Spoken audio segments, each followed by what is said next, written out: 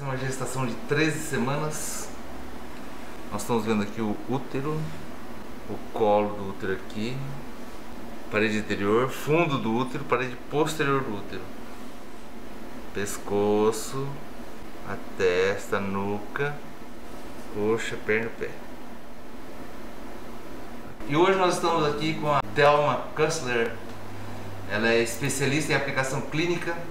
Vai nos ajudar aqui a fazer boas imagens desse neném. O colo do útero para cá, então as pernas da mamãe para cá. O fundo do útero aqui, a cabeça da mamãe vai para cá. Aqui a placenta. Esse escuro que fica ao redor do neném é tudo água, líquido amniótico. Aqui a parede posterior do útero. Aqui para fora é tudo fora do útero, tá? Alças intestinais. Aqui a parede abdominal. Vamos apagar o desenho aqui. Vamos medir aqui a distância, super importante ver aqui, ó, da moleira até a poupança. Vamos medir aqui qual é esse tamanho. Chama-se comprimento cabeça nádega, utilizado para fazer idade gestacional. Repara aqui, ó, isso aqui, ó, essa distância daqui até aqui, isso aqui. Comprimento cabeça nádega 7.58, idade gestacional 13 semanas 5 dias. Quantas semanas você está de gravidez? 13 mais 5. 13 mais 5, batendo com a gravidez. Olha a mãozinha ali em cima, olha que coisa, que Ah, coisa mais linda, hein? Perfeita, né? 4D aqui, HD Live. Tá meio de frente neném. Tá, ó, tá mexendo, tá mexendo, tá vendo? Ó.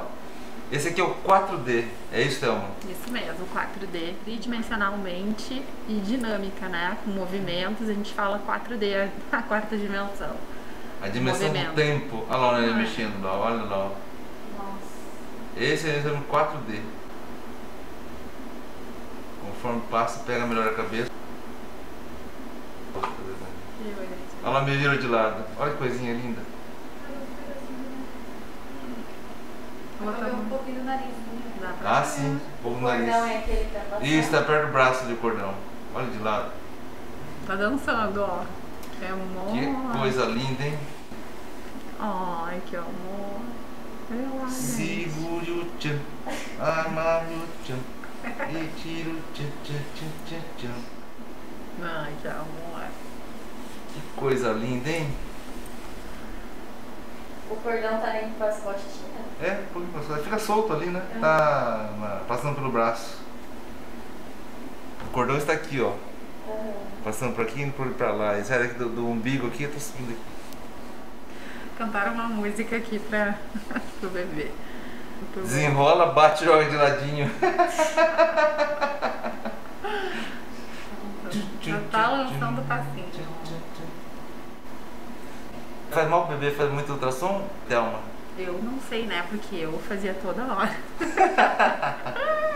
O Meu filho nasceu bem. Não tem problema nenhum fazer ultrassom.